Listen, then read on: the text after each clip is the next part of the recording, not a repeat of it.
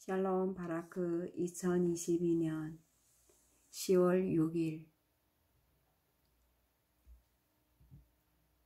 아가서 1장 8절 말씀입니다.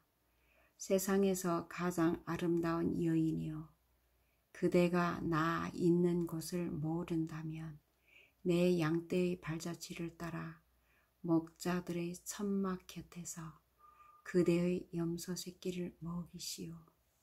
아멘.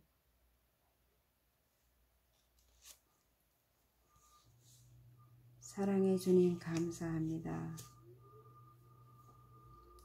하나님께서 저를 사랑하시사 어, 또한 믿음이 선진들이 믿음 생활 체험을 따라가는, 따라가라는 배우라는 뜻으로 받아들여집니다.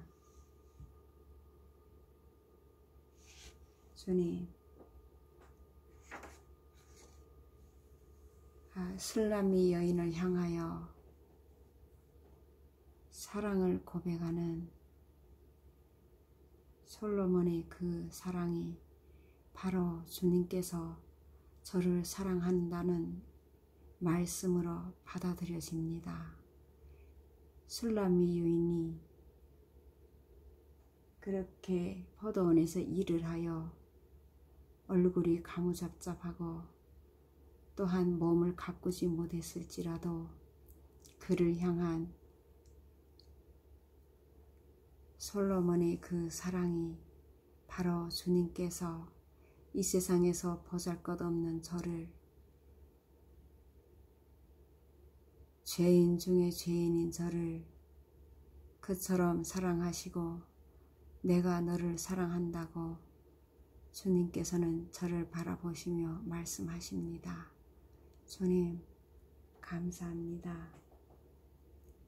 주님, 사람의 외모를 보시지 않고 그 마음, 중심의 아름다운 마음, 다시 말하면 그 마음에 주님을 섬기고 주님의 이름을 예수의 이름을 믿는 마음이 있다면 주님은 주님의 특별한 은혜 속에서 살아가도록 보호하시고 인도하십니다.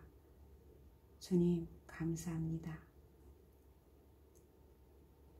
제가 주님의 말씀 안에서 주님의 말씀에 순종하며 예수님의 심장을 받아서 저의 심장의 온도를 높이며 살아가게 도와주시옵소서 감사하며 예수 이름으로 기도드립니다. 바라크